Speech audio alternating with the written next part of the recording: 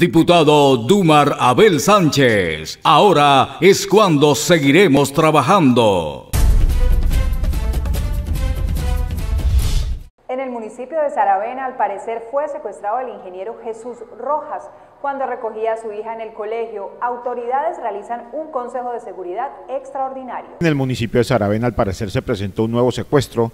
Los hechos se registraron sobre el mediodía del lunes 29 de octubre del presente año. Las primeras informaciones indican que el ingeniero Jesús Rojas se encontraba recogiendo a su hija en el colegio donde estudia cuando fue interceptado por dos sujetos obligándolo a subir en un taxi y llevándoselo con rumbo desconocido. El secretario de Gobierno Municipal de Saravena, Hugo Frei Méndez Becerra, dijo que en estos momentos se realizan las respectivas investigaciones para confirmar si se trata de un secuestro.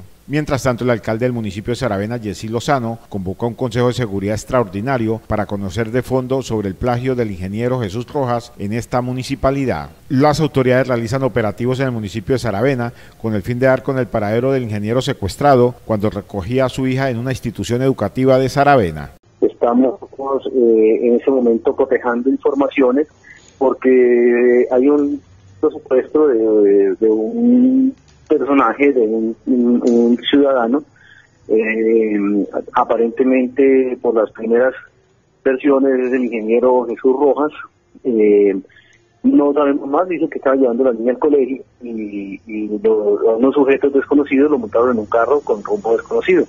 Hasta ahora es el único, la única información que mantenemos. Sin embargo, pues estamos coordinando con el señor alcalde y las autoridades para mm, coordinar el, el, dentro de un consejo de seguridad, establecer los pormenores y los, la, mayor información que podamos establecer. El señor alcalde está pendiente de la situación, estamos tratando de, aclarar muchas de las situaciones.